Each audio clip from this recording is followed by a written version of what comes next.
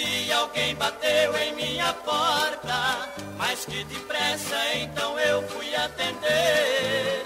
Era um carteiro que olhou pra mim sorrindo. Tenho aqui boas notícias pra você. Pela letra do envelope eu conheci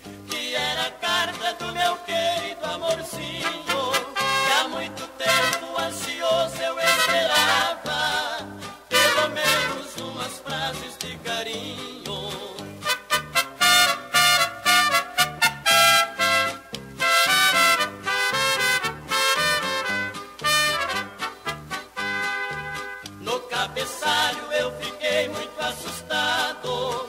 Não me chamava de amor, porque será? Mas não foi nada, o pior eu li depois. As minhas lágrimas começaram a rolar. Triste notícia para mim vinha dizendo: Já não te quero nem te amo como outrora. Siga com Deus o seu caminho. agora.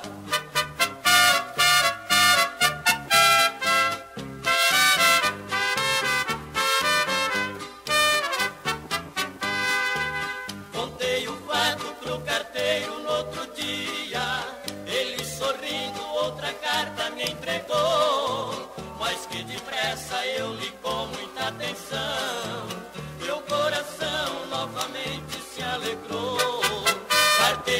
Igualerte ela por